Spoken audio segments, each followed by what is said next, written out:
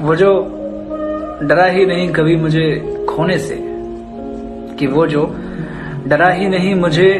कभी खोने से उसे क्या फर्क पड़ता होगा मेरे होने या ना होने से